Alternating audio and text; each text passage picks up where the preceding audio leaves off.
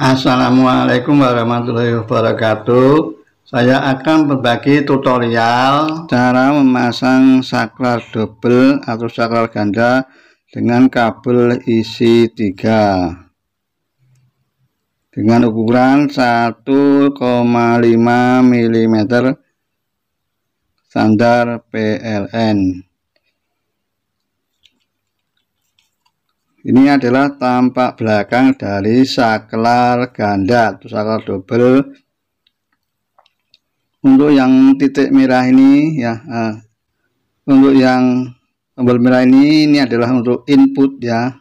Input saklar satu ini yang putih ini uh, output saklar satu. Yang ini adalah uh, input saklar dua dan ini output saklar 2 nah di sini ada jumper yang sudah terpasang dari pabriknya. Oke kita pasang.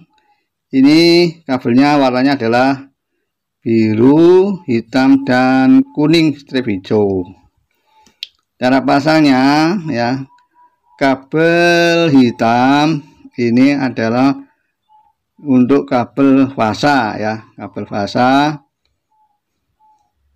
kita masukkan di input saklar yang ada jumpernya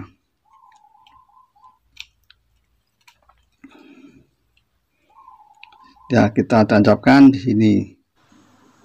Tidak boleh keliru dimasukkan di tombol putih. Nah, kita lepaskan akan mengunci sendiri. Kemudian untuk kabel biru dan kuning strip hijau ini kita pasang di sini ya. Di outputnya saklar satu dan saklar dua. Ini boleh dibalik. Ya bolak balik boleh. Nah jadi di sini kabel biru ini bukan kabel netral ya tapi kabel fasa karena yang masuk ke saklar ini adalah fasa semua. Ya yang biru saya tancapkan di sini. Ini juga boleh ya di sebelah sini boleh di sebelah sini boleh.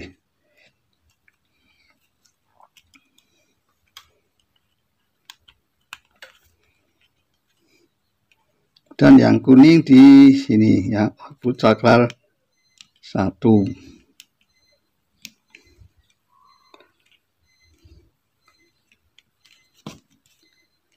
Nah jadi cara masangnya seperti ini ya. Ini adalah eh, kabel yang berasal dari plafon ya.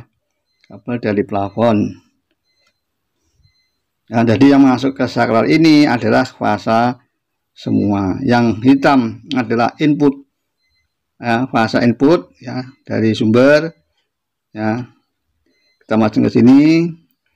Yang output saklar ya kuning strip hijau dan biru ini nanti yang di ujung satunya ya.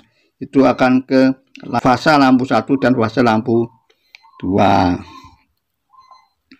Dan kabel yang kuning ini ya bukan kabel untuk grounding ya.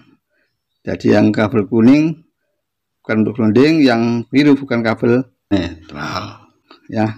Dalam hal ini yang kabel ke eh, saklar ganda. Karena apa? Karena kabel keluaran pabrik ya itu tidak ada yang kabel NDM seperti ini ya. Seperti ini yang kabelnya isinya sama ya, ya hitam semua atau eh, coklat semua. Oke semoga bermanfaat. Ya, saya akhiri. Wassalamualaikum warahmatullahi wabarakatuh